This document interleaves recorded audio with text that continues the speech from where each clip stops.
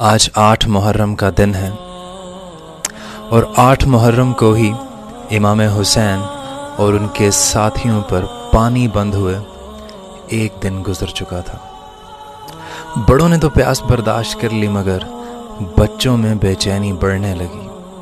और मैदान करबला में अल अतश की सदाएँ बुलंद होने लगी। जनाब अब्बास को जंग की इजाज़त नहीं थी। मगर इमाम अली मकाम, इमाम हुसैन ने हालात के पेश नज़र गाज़ी अब्बास को पानी लाने की इजाज़त दे दी।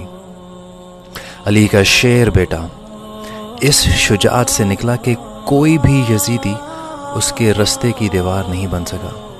बाज़ रवायात के मुताबिक गाज़ी अब्बास खैमे में पानी लेने में कामयाब हो जाते हैं, मगर बाज़ रवायात के मुताबिक गाज़ी अब्बास नहर फ़रात तक तो